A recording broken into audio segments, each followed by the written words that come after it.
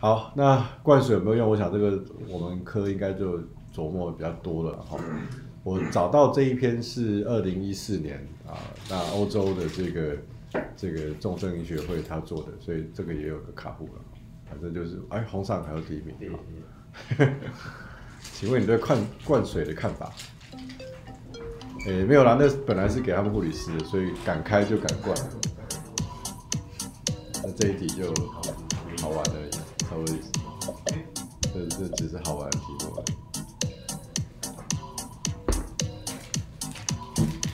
我有时候很好玩，看那个就可以知道，哎，哦，不灌行吗？好好好。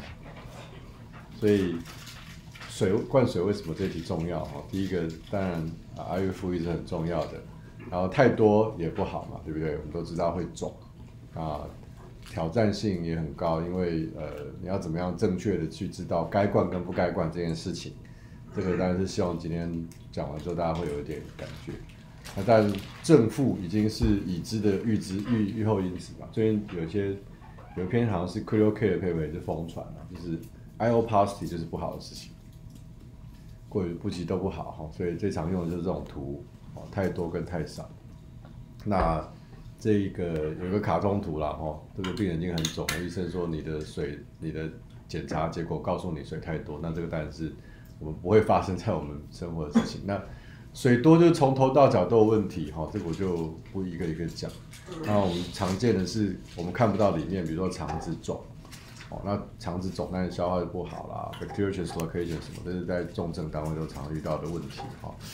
哎哎，怎么还有下一题的？题目太多，哎，江西啊，跟洪上凯，请问你觉觉得怎样的灌水是不会出事的？好，这个是 Ice Water Challenge，冰水，有 endo 就不怕了，是这样。好，我要看数据了，就是三十。好让我们来看一下哈，就是呃三十大概是从这一篇来的，对不对？就是大家很常见到这个呃 surviving services campaign 的 study，那里面字都不用看，它都是一直讲三十这个事情。好，那我们来看看到底多少？这个 study 有看过吗？也有点久，是二零一七年的 intensive care medicine 的这一篇哈。那他把这个啊，他是做了一个全国的资料库啊，large national database。那可以看到，他第一个灌水从一千到九千，哇，这个匪夷所思的这个量，很可怕。那这个是 case number 哈，所以到这里都还有什么一千个人，所以这个这个 study 还蛮大的。那再来就是它会有一个所谓预测的跟观察到的，预测是绿色哈，等一下还有一两张 slide 会这样讲。预测是什么意思呢？我们都会说有一个呃，在因为我们今天是讲实证医学嘛，实证医学上在证据上会有一个 confounding by indication，你有这个 indication 你就开这个药或这个这个刀，那所以你会发现，哎，开了某个药某个刀的病人 outcome 比较不好，那其实是因为他呃有这个 indication，所以他们会做一些预测，比如说，哎，因为你的严重度、年纪或什么的，你被预测要给了六千七千的水。好，所以绿色是这条线，但是你可以看到观察到的比预测多啊。当然，他预测的时候他没有把那个水拿去做嘛，所以你就说，哎，这是单纯是因为水的问题引起的啊。这个 study 我已经忘记他是用什么做预测了，好像应该不是 propensity score 啊。不过他就是做预测，所以可以发现呢，我们就把它 highlight 起来啊，六千以上就开始，其实六千应该不要画了，好，七千、八千、九千就很明显的是，呃，观察到的比预测还要高。好，所以意思就是说这么多的水，但这个叫做 ICU 的第一天的量哈，对我们急诊可能比较少遇到，可是各位如果在过 ICU 或是我们重伤区，啊，有时候就会有这个情况。那刚才是 overall 所有病人，这边是在细分成说，哎，没插管没有 shock，有插管没有 shock，有 shock 没有插管，跟插管也有 shock，然后绕口令一样。那一样绿色的是观呃预测的，红色是观察的。那一样我帮你画起来，哦，就是刚刚的那个图，那个 U 型图，啊，过与不及都不好的意思。你掐太少了，只有在不知道为什么哈，有有插管又有 shock 病人掐少少也没事，这个这个我没办法解释。哎，这个因为这种预测有时候嗯也没有真正预测那么准，所以不知道这个到底什么问题哈。啊，总之呢，这个 study 简单的是告诉我们说，啊，这个呃水的问题哈，水太多太少都不好。好，那我们就要来看怎么在呃这些 critical 的 ill 的病人上面去测 cardiac output。cardiac output 应该都都知道嘛，哈，就是 stroke volume 乘以 heart rate，对吧？哈，应该先问学妹，知道哈？好好。那等一下，哎，等下我想个找个东西。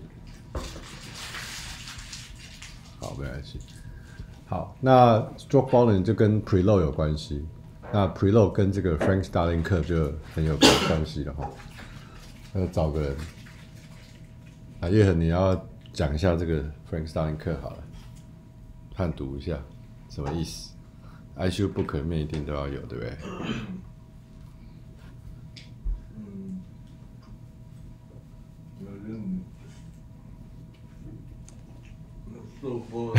他刚好吃一大口。做波的上升的时候，不会有上升，哎，不要上升的时候，做波会上升，然后只是。他没有办法无限制去上升，嗯哼，所以你知道，假如那个人就是你掐水可能要掐到他刚好就是就是 掐到不会上升，对不对？就是这样。对，就因为你在往上掐，你你也没有办法更多多到一个，嗯，对，人家都刚好抓那那个范围。嗯哼，OK，好，差不多，你应该大家都有点了解。但是临床的问题会是哦，对不起，这个字红字不好认，说。我现在是在哪一条曲线上面？好，不要忘了这个曲线是会变的，可能跟你的现在的 heart ventricular function 有关系，跟你有没有上一些 inotropy 有关系。所以你可以直接 inotropy 就把它拉上去，哦，那你没有上 inotropy 可能在这条线，但问题是我们临床上不知道这条线是什么，我可能也不太清楚知道我现在的线的哪里，哦，这是最大的问题嘛，哈。换另外一个图来讲，卡通图就是 preload after load 哦，这个大家应该就不太需要再讲前负荷、后负荷、收缩性跟心率，决定 cardiac output 的大概四个、三个 triad 哈，triad 是三个，好，心率当然就是再加上去了哈。好，那另外一个卡通图也可以这样画，按照它收缩的心脏的 phase 来决定，好，preload 就是它的 diastolic phase，然后 after load 是正要收收缩的时候。Contractility 是收打出去的时候，所以你看这个血流是在这边，它是它的 after load，它的 load 在这里，哈，所以是这样子的。所以有时候血管没有力气，我们就说 after load 不够嘛，对不对？这个大家应该都没有问题。所以另外在制作休克的处理的时候，大概就是分这几个：hypovolemic、cardiogenic、vasogenic、preload 低，啊，它特征当然就是说你可以测到的 cardiac index、cardiac output 就低，ACRI 可能会高。那可能就要想考虑一下，要再给一些水。卡迪坚尼的话就是呃，cardiac index 低，SVR 也会高哦，但是你的 preload 可能也已经蛮多了，就是或者是排不出去 full overload，那当然用的就是 inotropy IABP。Vasogenic 的话就是呃 Preload 低 c a r Index 高，SVR 低。好，所以大概是点到这几个，就是说我们大概在测量的时候需要知道的事情，这个大家应该都没有什么问题。好，刚刚有提到这个欧洲的呃加护重那什么翻译比较好，重症加护，有人有人直接翻加护医学会哦，加护医学会它有一个一四年的共识哈，一个 consensus，它有一些细节，我就直接把它标出来。第一个，它把这个休克种类做区分，大家应该没问题。低流速跟高血容哦，就是 hypovolemic、cardiogenic、obstructed、distributed。哦，都大概都已经很熟悉了。然后，然后点出一点就是，这些是可以合并产生的哈。我们当然有时候休克不会是单纯的一种的。那再来，他就提说辨认休克种类很重要，这个当然也是不用讲的废话，我们就知道说这个是非常重要。然后提到说灌流不足在三种器官上可能会知道，皮肤、肾脏、神志啊，康血是不好嘛，没有尿嘛，哈，那 skin 看是要怎么去评估。好，那接下来他建议就是要频繁测量，哈，不用只用单一的工具，哈，不就只不用血压来做唯一的定义。那这个当然在重症单位比较能做到了，哈，我们在急诊比较没有那么容易。啊，常规要筛检，那这个是呃我们应该要做的。高危险病人我们就要去 screen 他有没有可能是 shock。怎么 screen 呢？我们现在常在急诊就是做这件事情嘛，好，去测乳酸。哦，休克病人上测乳酸，等一下会提到乳酸这个东西。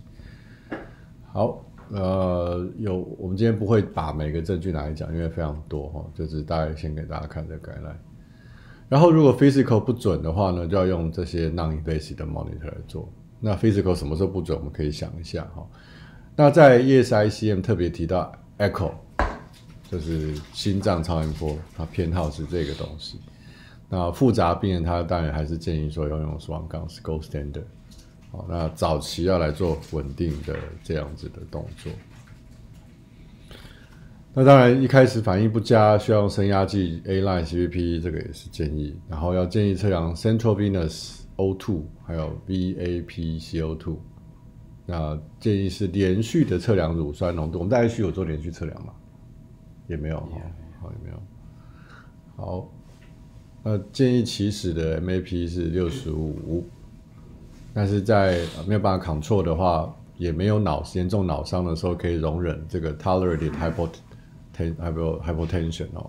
我们在川马比较常看到这样子嘛，哈。啊，他提到说，本来有高血压的话，MAP 可能就不能用六十五，这个倒是我们比较少去注意到。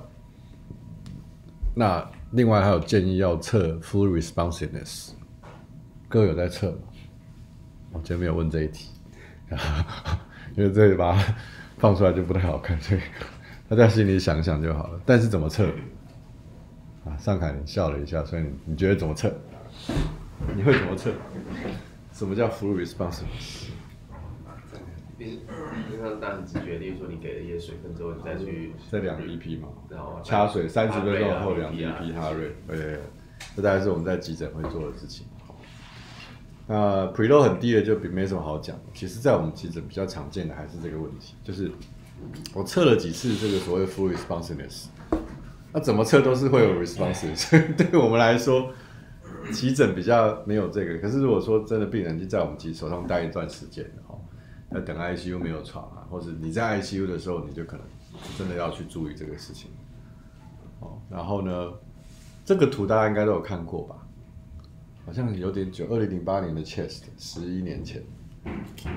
好，那我们每次讲 CVP 的时候，就会拿来讲。他说不建议只用，只用哦，不建议只用 CVP preload 来测量。那这个图是很经典的，他把，我忘这是人还是真的是动物啊？忘记了。那这个叫做 blood volume 的 deficit 或者是 excess，好，正的当然就是多，负的就是少。然后这是我们的 CVP 好比汞柱，请问一下，哎，哎，哎，志王，你觉得它有没有趋势？啊？看起来好像哎，勉强画一条线是不是？哎，呃，好像没有哦。它给你 R，好，这是相关系数了哈，零点二七。那我们在动做动物实验，什么这种分子生物实验的相关系数要零点九了哈。你做过实验，你知道吗？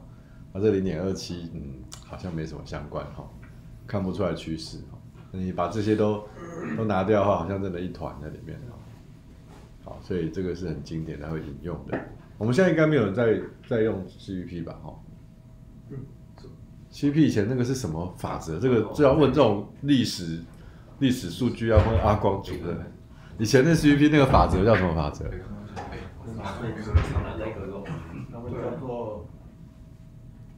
什么？我真的忘了，真的忘了，他就是掐一点，哈，真的忘了。对，好像就是也是掐完之后看 CPU 会起来之类的。对，好，那他建议用多种哦指标，通常都是这样，没有一个准的时候就多种，动态比静态。那动态的知道什么是动态哈？嗯，林奇，你知道什么？这边动态指的是什么？啊，动态光波，动态光波是，就是，比方说 A I B C 啊，哎，那就算动态的吧？对对对对对，那是一个动态，错的。那 I 控这样算动态吗？那数值数字有一点，也可以啊，也可以啊，但是怎样的动，在你要怎么用，跟 I B C 一样嘛，就是呼吸。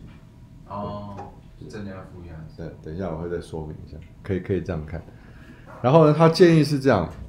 就算你知道这个病人他已经那个 blood loss 很多，比如说 trauma GI bleeding，但他还是建议掐掐掐，哦，不是说一次开两 liter 上去。